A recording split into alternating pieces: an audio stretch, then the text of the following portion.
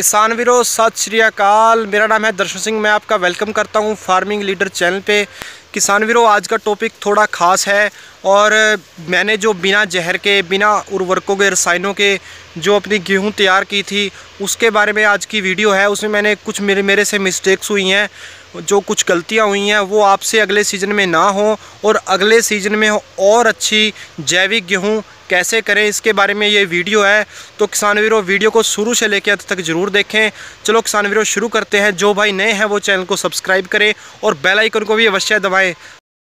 वैसे तो किसान वीरों, ये काफ़ी गेहूँ काफ़ी ठीक ठाक हुई है, लेकिन मेरी कोशिश रहती है कि बेहतर से बेहतर करने की और मुझसे जो सबसे बड़ी गलती हुई है, वो बुआई में, मेरी बुआई में काफ़ी गलतियाँ हैं। सबसे बड़ी गलती है कि मैंने इसको एस आर आई विधि से नहीं बुआ, श्री विधि से नहीं बुआ सिस्टम ऑफ़ रूट इंटरफिकेशन से नहीं बुआ।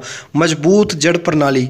इसका मतलब होता है मज़बूत जड़ प्रणाली। इसमें क्या होता है कि इसमें जो बुआई होती है, वो दाने से दाने का डिस्टेंस वो काफ़ी अच्छा रखा जाता है। ना कि जैसे हम सांटा बुआई कर देते हैं, जिसमें कि बीज काफ़ी मात्रा में डाल दिया, चालीस से पचास किलो।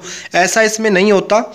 मुझको इसको श्री विधि से बोना चाहिए था सारी विधि से बोना चाहिए था, जिसमें या तो हम हाथ से बुआई कर सकते हैं एक हाथ, एक एक दाना यहाँ लगा दिया, एक दाना पाँच छः इंच छोड़ के वहाँ लगाया, बिल्कुल सही डिस्टेंस पे।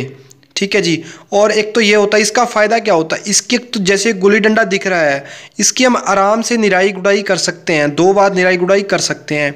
और जो दूसरी मुझसे बड़ी गलती हुई है कि मैंने इसकी 35 से 40 दिन के ऊपर इसको ऊपर से काटना था।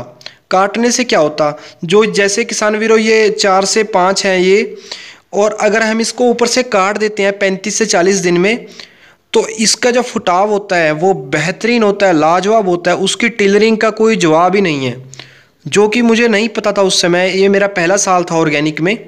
तो अगले साल से मैं इसका खास ध्यान रखूँगा, और आप भी किसान वीरों, इस बात का बहुत ध्यान रखें, जो आप जैविक गेहूँ करें, या आपकी जहाँ पर जमाव है बहुत कम हो, वहाँ पर आप इस बात का ध्यान रखें कि ऊपर से उसको काट दें, जैसे हम हरे चारे को काटते हैं, बरसीन को काटते हैं, ऐसे काट दें।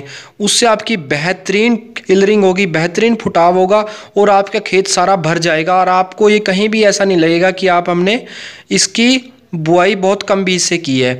हमें बुआई बीज का बहुत ध्यान रखना है। अगर हम थोड़ा डिस्टेंस पे लगाएँगे तो हमारा जो बीज लगेगा, वो लगेगा करीब छः से आठ किलो के करीब और चार से पाँच किलो भी लग सकता है।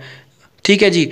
तो हम इस बात का खास ध्यान रखें, बीज कम लगेगा और फुटाव बेहतर होगा और ये मैंने काफ़ी रिसर्च की है, उसके आधार पर बोल रहा हूँ। मैं भी इस बातों को अगले अगले साल प्रैक्टिकल करूँगा। तो आपको और डिटेल में बताऊँगा। बाकी मैं इसके बारे में बताना चाहता हूँ और अब किसान वीरों, में आपको बताना चाहता हूँ कि मैंने इस जो जैविक गेहूँ किया है, मैंने इसमें क्या क्या डाला है। मैंने इसमें किसान वीरों, एक तो तीन बार सिंचाई की है, तीन बार पानी लगाया तो तीनों बारें मैंने इसमें वेस्ट डिकम्पोज़र डाला है। दूसरी बड़ी बात है कि मैंने इसमें जो हमारा राग का गोल होता है वेस्ट डिकम्पोज़र का है, और जो हमारा उपलों का पानी बनता है, उसका मैंने इसमें कम से कम तीन बार, तीन से चार बार स्प्रे किया है। तो तब जाके हमें ये रिज़ल्ट मिला है। किसान वीरों, अगर हम अच्छी मेहनत करेंगे तो हम हर फ़सल जैविक कर सकते हैं। कुछ भी असंभव नहीं है, जो व्यक्ति सोच सकता है, वो व्यक्ति कर सकता है। तो मुझे पूरी उम्मीद है, किसान वीरों, आपको मेरी आज की वीडियो ज़रूर पसंद आई होगी। तो किसान वीरों लाइक ज़रूर करें। मुझे तभी पता चलता है कि आपको हमारी जो वीडियो बनाई हुई है, वो आपको पसंद आई है। तो लाइक ज़रूर करें। जो भी आपका सवाल है, वो मुझे आप कमेंट में लिखें। और जो भी भाई नया है इस चैनल पे, अभी तक इस वीडियो को देख रहा है, वो चैनल को सब्सक्राइब करे और पास आए बेल आइकन को भी दबाए। तो आज के लिए इतना ही। बहुत जल्द अगली वीडियो मिलते हैं। जय किसान, जय हिंद।